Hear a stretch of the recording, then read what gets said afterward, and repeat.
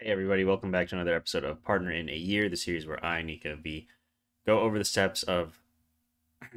hey, what's up everybody? Welcome back to another episode of Partner in a Year, the series where I, Nikko V, keep a weekly video diary of the steps I'm taking to try to get the title of Twitch partner within the span of one year.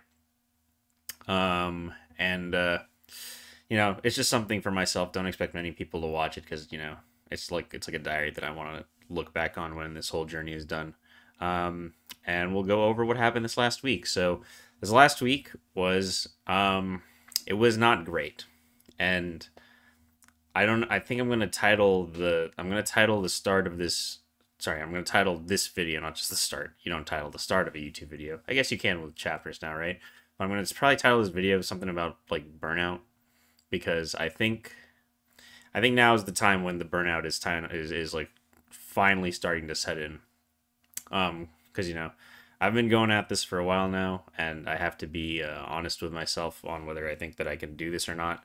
Um, I'm still gonna go for the whole one year thing. Like I'm still gonna keep up the schedule. I'm gonna keep doing this for a whole year, but I think I think it's time to acknowledge that I don't think I don't think this is something that I'm particularly good at or something that I can do, and that's because th- this past week was was really rough. Um, and I say that as somebody who I you know obviously the streams don't.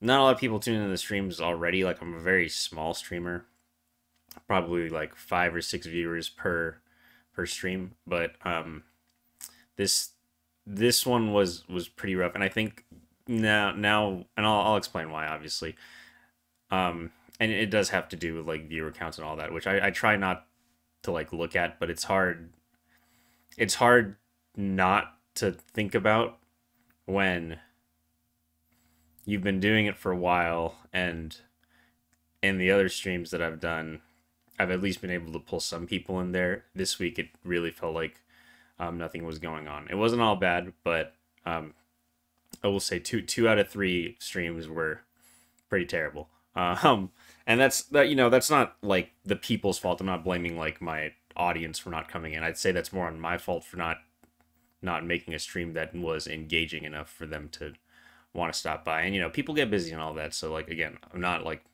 shifting the blame to anyone but myself. Like it really is just my fault. But um, I'll go over my thoughts and and why I'm feeling super burnt out right now. Um, so I'll start with uh, let's go over what we did. So the first stream that we did this week was it was Dusk and Elden Ring, and I wanted to. It's just because I just wanted to play Dusk because again, Iron Lung was such a fantastic experience that I wanted to go back and play Dusk. Dusk is also another just great shooter game. Like honestly, the straight up just ten out of ten boomer shooter. Really enjoyed it. Played that for a little bit, then switched over to Elden Ring. Um, some people stopped by. You know, it was it was fine, but like, but not many. Um, and it was just kind of me talking to myself for for three to four hours. Uh, so then we move on, and the game that we played next in the week was Spec Ops: The Line. Spec Ops: The Line was actually a pretty good stream, I'd say, even for my standards. There's a lot of people in there. Um, we got raided by Suki Suki Tanuki, so thank you so much, Suki, for that raid.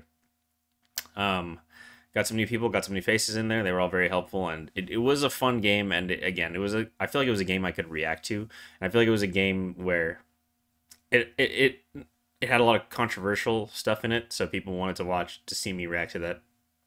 Um, and I think that is what made it more entertaining than the other streams. So, um, yeah, that that that was a good stream. I won't I won't lie. Um, Friday uh, and I, again, I normally don't stream on Fridays, but you know, I was doing something this Thursday. Usually, the the days that I like to stream is typically Monday, Tuesday, Thursday. But I was doing something this Thursday, so I wanted to stream on Friday instead. I think instead of doing that next time, I'm gonna do Monday, Tuesday, Wednesday because the reason I try not to lean towards a Monday, Tuesday, Wednesday is because I feel like Monday, Tuesday, Wednesday, the first three days in the week, and then um, I try to only stream three times a week. I can stream more than that, obviously, but I, I always aim for three. And uh,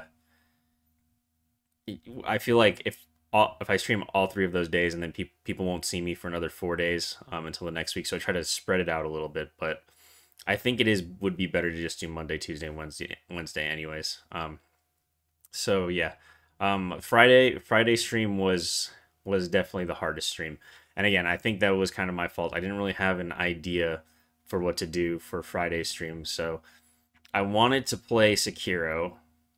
Uh, so I did play Sekiro, but then my friend called me and was like, "Do you want to play Apex Legends?" And I was like, "Sure," because you know I wanted to I want to grind some ranked in Apex before the season ends. So I did that, but it was also very confusing for the people that didn't want to stop by because obviously the notification came out that said I was playing Sekiro. Suddenly I'm playing Apex and I'm also playing with people that like I'm talking to. I'm also not being very engaging. So I played Apex for maybe like 30 minutes and then I went back to Sekiro. And it, I just don't think it was overall a good experience for anyone that wanted to stop by. They'd probably just be very confused. And um, I think it was kind of selfish of me to do that because the reason that I wanted to play Apex ranked was because I don't really have a lot of friends that want to play Apex with me. Um, I don't have a team that wants to like grind ranked. Um, so me getting any opportunity to play with with people while the split is up is uh it is nice and I wanted I wanted to do that so I wanted to like force myself to play Apex. It was not a good experience at all. We just didn't nothing happened, nothing good came of it. I like you know lost some RP. Um, friends weren't feeling it, and then they got off like 30 minutes later. So I kind of derailed my own stream for for nothing basically. Um, and yeah, so that was this week, and I'll that that I think was the one of the roughest streams I've ever done. Next to the Osu stream, the Osu stream was really rough. Um, because there's just no one in there, and I think that I I think maybe I personally have been able to avoid burnout because this is something that I think every streamer runs into that like that does want to dedicate themselves to to streaming like regularly and then trying to make potentially a career out of it, stuff like that. I think that people experience the burnout quickly when nobody is in there unless they truly are only streaming for themselves.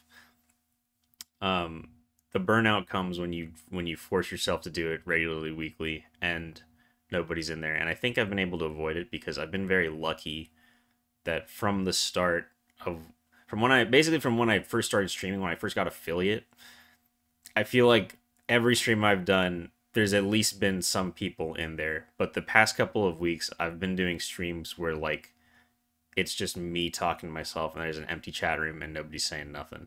And again, that's not on the audience.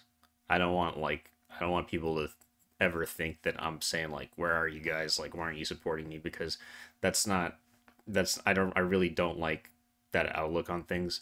I'm moreover saying that I'm not creating engaging enough content to get people to come back. Um and it's it's just hard because I I'm just kind of I'm not out of ideas, but it's like I just have other stuff going on that's like got my attention right now. Um I want to play a bunch of new games, but there's like I don't want to force myself to play a game, um, because Game Pass has a lot of games, but I don't want to force myself to play a game. So I'd rather just play a game I find fun. But then again, if it's just something that I'm always doing weekly, like Elden Ring or Dusk, then like who cares, you know? Um, so yeah, I think I think now is the week where the burnout is is setting in really hard. And again, like I said, I'm gonna I've committed to this weekly stream thing because it's something that I promised like myself that I would do to like follow, you know, follow the dream. But I do think that it's time to start looking around at, at doing some other things and like potentially changing my life path, you know, which is fine because again, and it does that doesn't mean that I'm gonna stop streaming, you know. It just means that I'm gonna stop having this be the main focus on my life because I do think that it is kind of unhealthy that um I'm it's not like the my main it's not my main source of happiness I should say but it is it is I think something that does legitimately affect my mood. And I'm saying this because I want to be honest with myself. I don't want to I don't want to